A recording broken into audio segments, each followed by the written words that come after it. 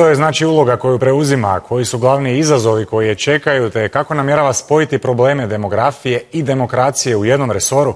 Evo što kaže Dubravka Šujica. Velika je čast za Hrvatsku dobiti mjesto potpredsjednice komisije kao najmlađu članicu Europske unije, a i meni osobno je to priznanje za sav dosadašnji rad ovdje. U svakom slučaju Važno je to pogotovo u kontekstu pregovora za predsjednicu Europske komisije gospođu Ursulu von der Leyen gdje je naš premijer Plenković imao ključnu ulogu i drago mi je da je se uspio izboriti za tako dobar portfelj.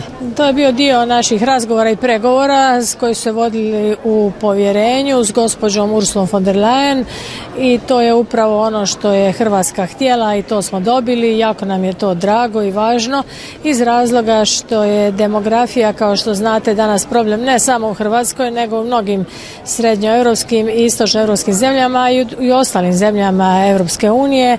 I trebamo vidjeti što je uzrok tome i pokušati pomoći horizontalno na način da e, se e, ljudi ostanu živjeti tamo gdje su se rodili, gdje su njihovi domovi i domovina, pa sigurno da mogu i oni su jako usko povezani, premda to na prvu ne izgleda, ali ja sam uvjerena da ću u tome uspjeti, da ću raditi u suradnju sa svim povjerenicima, što mi je i zadatak.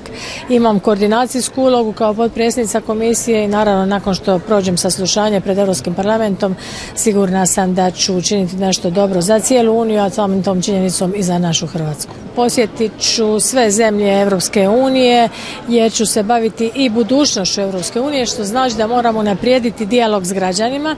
Želimo građanima što je moguće više približiti Europu, europske vrijednosti i nadam se da ćemo u bližem kontaktu s građanima omogućiti da više participiraju pa je to onaj dio u portfelju koji se zove demokracija. Sigurno treba pojačati i radna mjesta i gospodarstvo koje radi za ljude i ojačati ulogu vanjsku političku ulogu Europske unije u svijetu, e, riješiti klimatske promjene, učiniti Europu vrlo e, zanimljivom u smislu zaštite okoliša.